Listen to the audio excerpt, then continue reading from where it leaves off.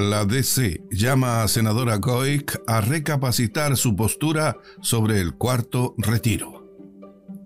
A continuación, un resumen de las noticias que trae en portada el diario electrónico San Carlos Online, hoy lunes 25 de octubre de 2021.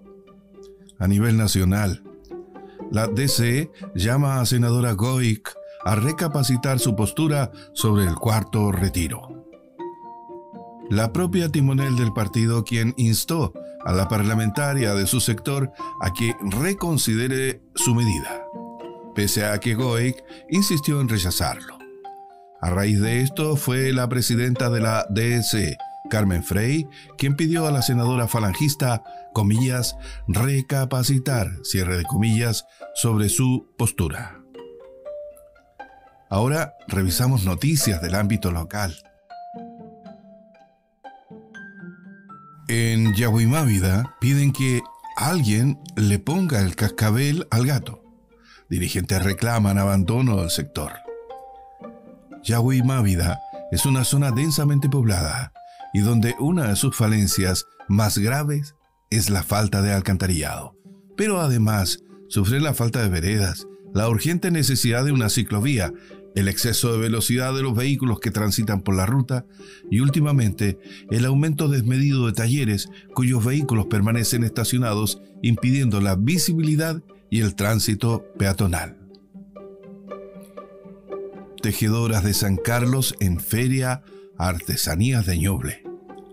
Tejidos de lana y artesanías en pita y calabazas de San Carlos fueron expuestos, entre otras creaciones, en la Feria de Artesanías de Ñuble, de Cultura, y en coordinación con INDAP Ñuble, Cernatur y la Municipalidad de Chillán. En terreno explican modificaciones al proyecto de techado de Feria Libre. Una explicación por parte de funcionarios de la SECPLAN del municipio local sobre las modificaciones al proyecto de techado de la Feria Libre fue el tema central de la reunión efectuada el sábado último.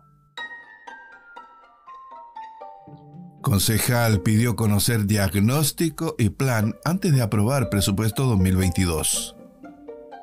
Más allá del necesario análisis de los números del presupuesto 2022, el concejal Daniel Pizarro pidió conocer cuál es la estrategia que tiene la actual administración para el próximo año.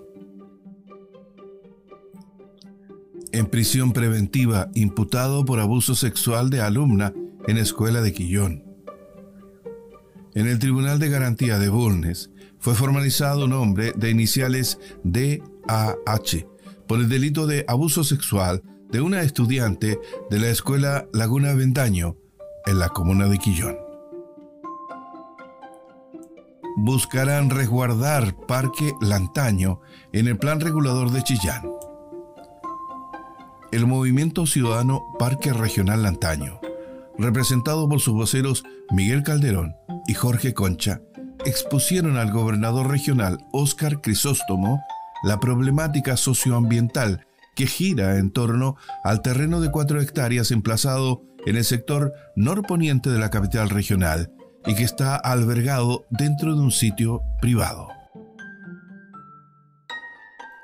Decretan medidas ante denuncias por malos olores en plantel porcino de Chillán Viejo.